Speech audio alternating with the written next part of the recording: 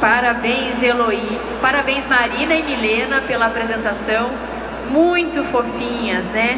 Vamos dar sequência agora a mais uma